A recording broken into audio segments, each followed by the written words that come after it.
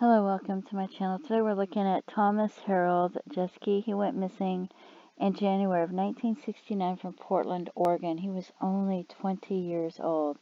5 foot 10, 180 pounds. It says he had blonde hair and blue eyes. He had a shaggy beard at the time of his disappearance. He wears eyeglasses with black frames. He was last seen in Portland, Oregon, January 13th, 1969.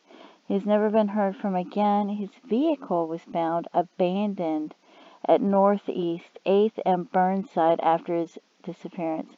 Few details are available in his case. So if you have any information, here's the phone number for the police department. Please give them any information you have. Even if you gave it to them years ago, because you have to realize that the information has gone through investigator after investigator. And not only that, but it's gone from note taking to word processors to floppy disks to software to computerized type things. So maybe you gave them information years ago, but you might want to check and give them that information again to make sure they still have it. And here's a John Doe that was found in 1974. The estimated date of death is unknown. The cause of death is unknown. They were found 15 minutes, 6 miles away from where he went missing. But it says they're 5 foot 7 or 5 foot 9 and he's 5 foot 10.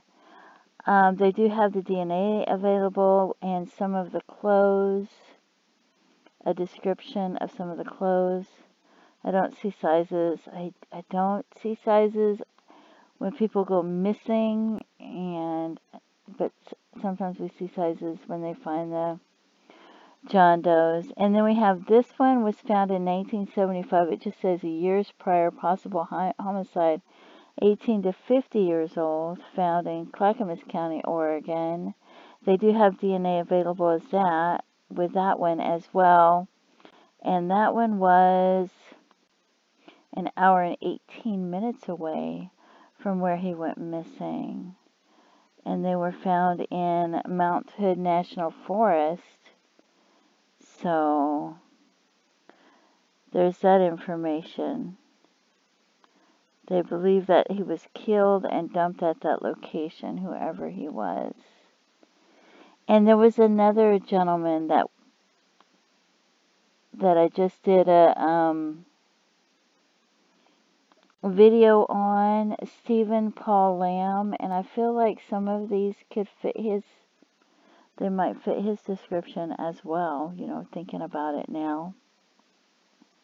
These John Doe's.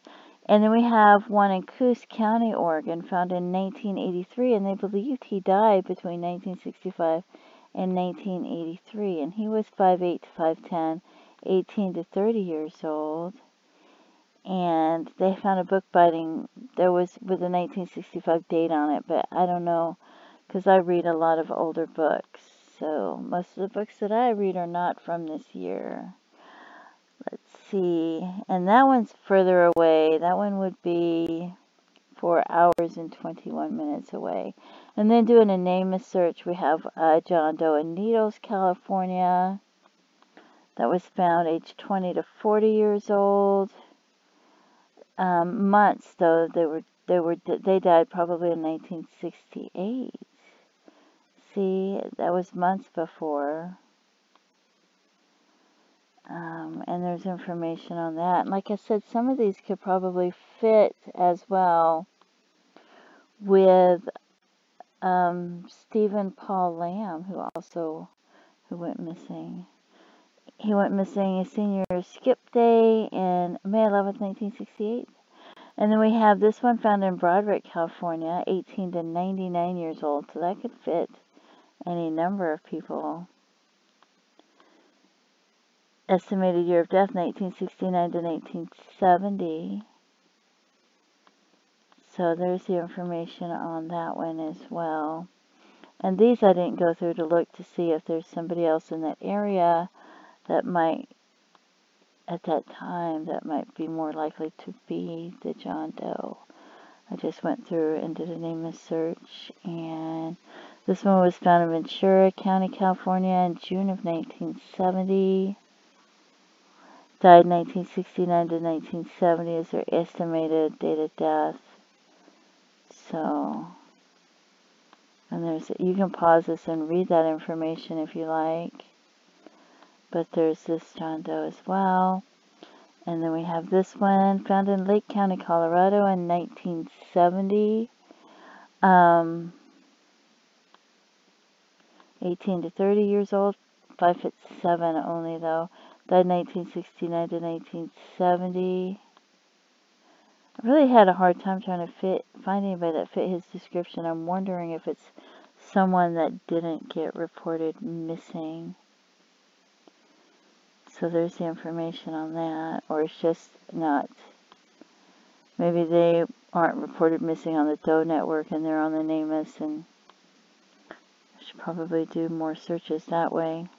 This one was found in Whittier County, which is, you know, near um, Anaheim.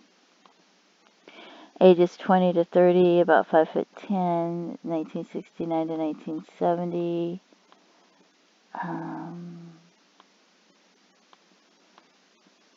brown hair, though. But sometimes people have blonde hair, and as they get older, it gets darker. So I never know which ones got darker and which ones didn't because somebody will consider it blonde and somebody else will consider it like sandy blonde and somebody else will consider it light brown and so I try to leave those in there now that I've realized that. So if you have any information about what happened to this young man, please give it to investigators. And like I said, maybe you gave it to them years before, but you're not sure if they still have it. Maybe you didn't feel like it was relevant. Maybe you know who they hung out with, where they hung out, what size clothes and shoes they wore, um, who they spent their time with, or, you know, any other information that you may have given them.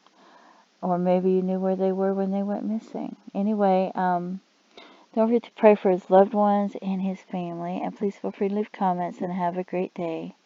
Bye bye.